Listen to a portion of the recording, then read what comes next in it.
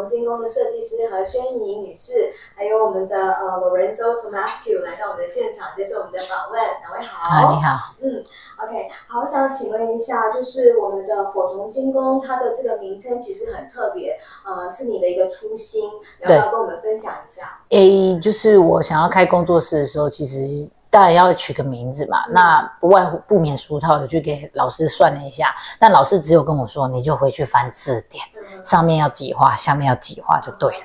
我就翻啊翻，到处翻，翻来翻去就是翻不到我喜欢的。然后直到我翻到“火”这个字，这个字超级霹雳无敌难念，没有人能够念，所以我就查了。但是我觉得这个字非常有意思，因为它是一个金属的元素，跟我的。工作是有关的，那它的化学式是 H O，刚好是我的姓，所以我就决定要用它。那同这个字呢，是上面一个人，下面一个工。同这个字的意思，它的本意就是希望能够一同一伙人一起这样子的意思。那我也希望我这个工作室是一个地方，让大家可以用过透过手作来分享彼此的美好跟情感交流的地方。对，所以我就还是选择了伙同这两个字，虽然。很多人都说好难念啊，记不得啊，不适合商业啊。我说不行，我必须要还是要用这两个，我觉得能够代表我的理念的部分，我才能够觉得比较有意思。不然我就觉得这个工作室我不晓得为什么要取这个名字。是对，呃，这六年来，其实你每一次的一个课程，然后迎接了。呃，比如说一个人的一个课程，或者是两个人，或者是一家人，不管是怎么样的组组合，你都见证了他们之间的一个流动的情感。对，其中有一个很特别的情感，是你跟你父亲的。你父亲根本就不支持你去呃成立这样的工作室，即便到今天，他都可能还是有一点点怀疑。可是你真的用你的这个工作室，然后因为你本身啊，真的非常喜欢啊，就是你的这个。手工的这个部分，然后你一直坚持到了现在，然后啊，你要不要把这个历程稍微分享给我？呃，一开始我要开的时候，就应该是说一开始我要念艺术的时候，我爸就说不行，会饿死，哎，腰洗没塞，所以我跟他其实抗争了很久。那我也因为为了要顺他的心，所以我去念了他想要我做的事情，像是商业经营啊、资讯管理这一类的东西。然后到后面，我跟他说，哦。老爸，我不干了，再再这样下去，我更不知道我自己怎么毕业的，我也不知道我自己在干嘛，所以我就说我要念艺术，然后他就说啊，好啊，没关系啊，你你有在的那个课，他就是那种很，对他觉得我考不上，所以他就是六载掉那个课啊，呵啊，好，我就来，我就考，那也让我很幸运的有考上，那我我之后我进去那个艺术的领域之后，接触了很多艺术之后，我开始接触这个。金属的部分，我突然发现，他他跟我有很强烈的共鸣。是那那个共鸣，老师有一个老师，我的硕士老师曾经问过我说：“哎，你觉得金属对你来说是什么？”我说：“它很像朋友，它其实是陪伴你，然后跟你对话。因为你每敲它一下，它就会长一个形状出来，它是会跟你有反应的。但是。”朋友之间，你不是说你要它干嘛就干嘛，你要顺他的心，才能够长出你要的，这样才是一个朋友的一个之间的互动嘛。所以对他来，对我来讲，他就像朋友一样，然后他陪着我，一直到到我就算我疗愈也好，开心也好，通通通通通通都是透过这个手做的部分去做这样的一个部这这个互动啊。所以金工对我来讲。金属这个东西就是一个陪伴我，在我还没结婚之前，我曾经说过，不能没金工，可以没老公。不过还好，我嫁人了。Okay, Tom ask you. Uh, Joyce is your best friend. That's why you uh get married. Yeah, that's true. Yeah. Can you share more? She's my best friend. Uh, uh, um, I enjoy listening to her. Mm-hmm. I enjoy opening myself up okay. and uh, and then just you know being together. So I think we're we're a perfect match. Mm-hmm. And and we have we have similar ideas. You know, that's what you look for in a partner. Mm-hmm. Similar ideas, similar uh, likes and mm-hmm. dislikes. Mm-hmm. So yeah, I mean, um, I feel like I'm I'm I'm a little bit lighter since I've since I've met Joyce. Mm-hmm. So you also help her uh, at her studio, right? you have your own classes. Yes, I mean, I help her in, in terms of um, her diversifying her um, her business model, and you know, I'm part of that. Um, you know, I'm grateful that uh, that I get to continue teaching and in teaching young students. You know, um, sometimes almost teenagers, because I, that that's something that I enjoy is uh, is is keeping this the teaching skill uh, fresh. So, and then like I say, she's she's a great teacher, so she helps me so much.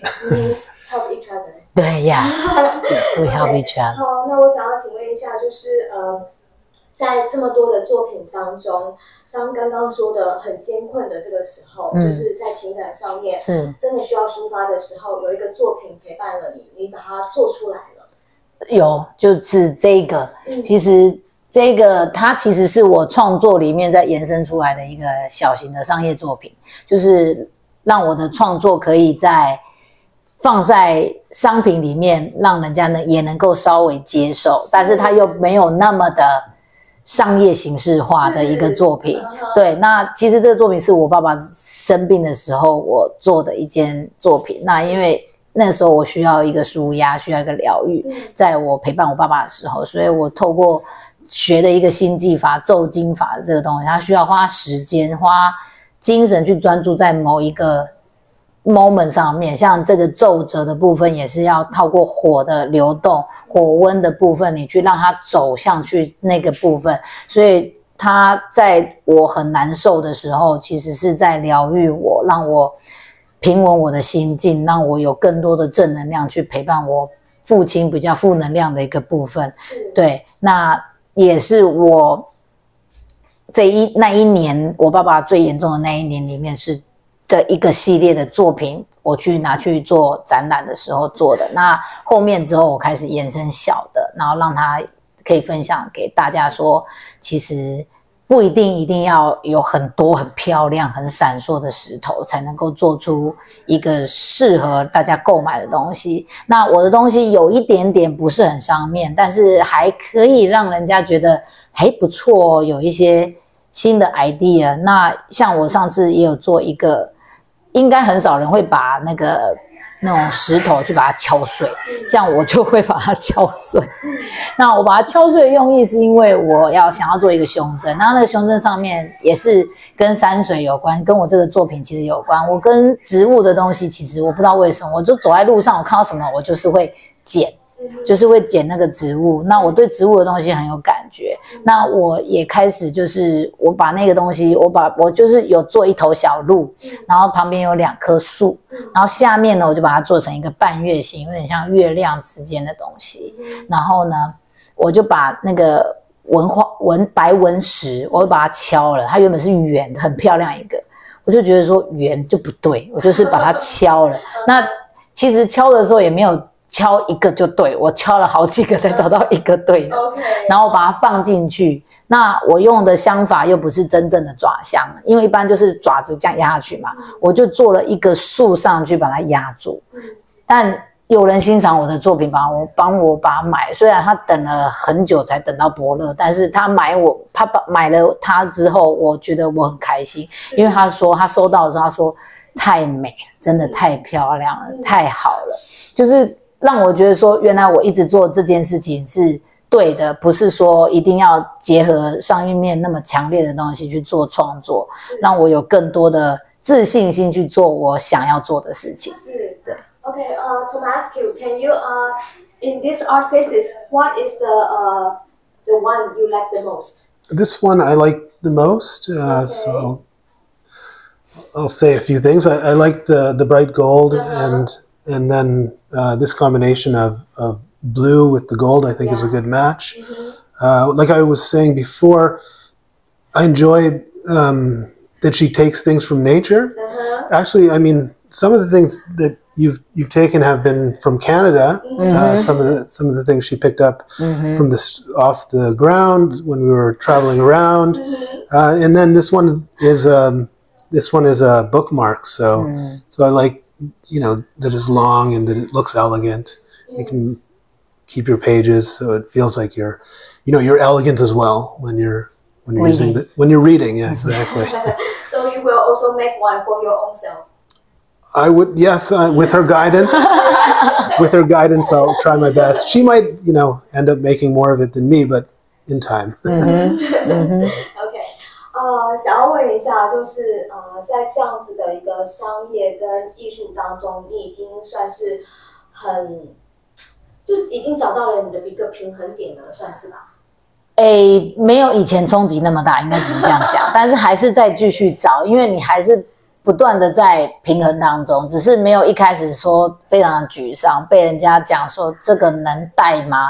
那种感觉你会很受挫。到现在我我知道说，如果我想要在台湾继续做我想要做的事情，那我必须把某一些些东西先做转换，我才能够进而演进，就跟这个一样，我把它演进再融入进去商业面里面，那它也是不没有失去本我，那但是你还是可以继续走下去。嗯，比如说呃，来到台湾的一个呃，必须要用贵金属，对，其实其实我刚回来台湾的时候，我去面试的时候拿那个作品集，还有作品，那个老板娘她是开银楼的，然后生意做很大的，她就说这刚没拐，这刚没背，这会坏掉吧？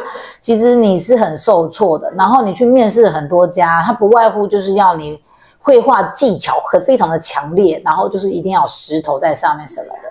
但是我的我学习的那个模式，从以前到现在，我从开始学艺术类的时候，我们就不是一个要一直画一直画的人，我们是必须要有灵感的，然后要有一个互动的，然后渐渐的，那你也要必须要知道说你自己是谁，你是适合什么样的，不能说。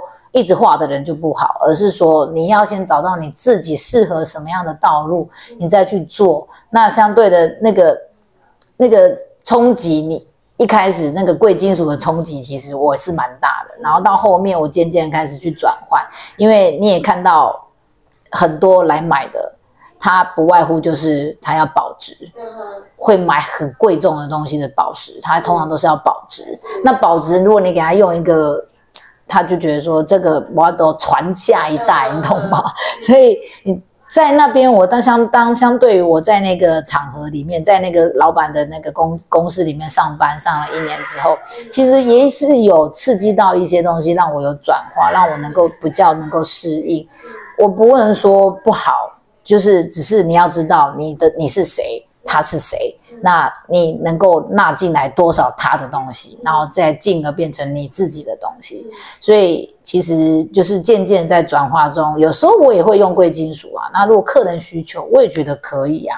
对，那只是来我这边做贵金属的人，他们其实也蛮特别，他们就是觉得外面卖的都差不多，他们不想要。了解，所以呢，我们就会讨论，然后有时候他们想要自己做，我就说可以，但有些东西真的太难了，你可能要交给我帮你完成。他说可以，没关系，只要漂亮就好。我说就是要有你的意思在，但是有一部分是你操作，有一部分是我操作，因为你可能真的没有办法到那个程度。对，那有时候是全部给我代劳，那我也蛮感谢我的客人的，他大部分来找我的都是很放心就给我做了。他不会跟我说他要干嘛，他要干嘛，他要干嘛，他会要求很多各种不同的东西在里面。没有，他就是说你想你想，他就给我想，那我想一想，我就是画一画我就给他，我说我觉得这样这样这样这样这样，你觉得呢？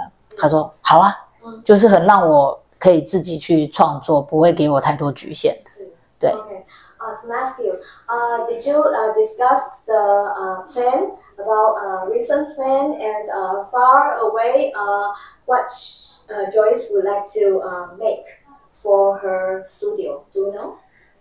Oh, um, oh, she she wants to maybe to broaden out her, Yes. her business model. Yes，一个一个一个 好，你还是你自己来讲吧。对，呃长期计划。哎，就是我短期计划就是现在我在做这些事情嘛，我就一直会继续做下去。那中期的部分的话，其实因为我知道我我还有一天也是会老，我不可能永远一直都在做这件事情，教学这个部部部分。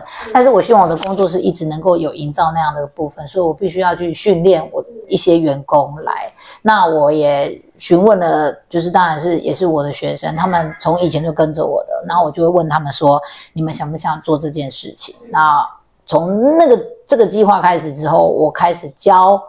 不是只教他们会，因为他们本来就会，只是要再更精进，而是再来就是我要教他们会教人，这又是另外一件考验。对我来说，我自己也是考验，因为我必须要把他 SOP 讲好，还有会发生什么情况，那个都是一些经验值的分享。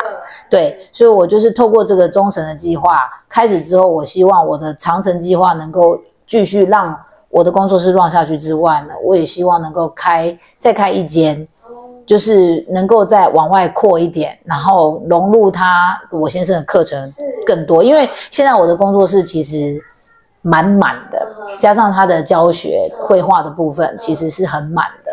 那我希望说，等到如果我们有能力再继续往前，因为要开大一点，你相对要请人，那你就是必须要有人嘛。那这这就是我前面中层在做的，有人之后我可以有调度，那有调度之后，我们开始去做。再继续做下一个长城的规划，那那个的长城规划是我希望能够融入他的亲子手作的部分。那亲子手作就是绘画跟英文嘛，那这个小朋友都很喜欢，我也觉得也也不错，因为我他也很爱小孩子，我也很喜欢小孩子。那像我的课程里面本来就一直都有亲子的部分，因为有太多夫妻来会带小孩，但小孩不可能坐在那边很乖。跟着你两个半钟头到三个小时，但是就是变成说，我会给他一个铜片，跟他给他一个棒子，他就敲的超级开心，还可以敲超久，就一直敲，一直敲，一直敲。那这个东西也给我的灵感，我就说，嗯，那我们因为我们那边有画画的笔嘛，所以我就说，那你画一画好了，画完之后。再做金属的东西，然后把它结合成一个钥匙圈或一个吊饰也是可以的。所以那个东西最后也是变成演变成是我亲子金属亲子课程的一个部分。那让小孩可以尽情的敲，尽情的画，那顺便也是可以认识色彩。我觉得这是。蛮有意思的一个亲子课程，所以我也把它放进去，都是透过那个工作室在研发出来的东西，而不是我一开始就想出来的，而是我跟人有互动之后，他们给我的想法，然后我觉得说，哦，好像也可以这样哦，那不然来试试看。对，好，那我想请问一下，就是对于就是呃会有这样的机会，呃，当他已经实际成熟，然后可以开个工作室的话，你对他们的一个建议会是什么？就是你还是变成说，你一定要坚持你要做的事情，那不是为所欲为，而是在你能够在营运下顺你自己的心继续走下去。那不管遇到任何的困难，一定会有沮丧的时候，会有难过的时候，你要如何想办法让你的营工作室继续营运下去？就算你去赚外快。我觉得那个都也是一个方法，所以你就是拿这个来补这个，总有一天它渐渐会帮你补起来，就你就不是一个洞了，是平了，然后渐渐就堆堆堆堆起来了。那重点是你要持之以恒，那你要愿意去做这件事情，那你相对的总有一天人家就是会看到你，嗯，因为我是这样来。呃，我在你跟呃 Tomasu 的身上看到你们就 support each other 的那个呃 the best friend 的那个力量，嗯，对。然后今天真的非常开心，可以邀请到我们的火红金钟的设计师呃宣莹，还有我们的 Tomasu 来到我们的现场接受我们的访问，谢谢两位，谢谢，谢谢，谢谢。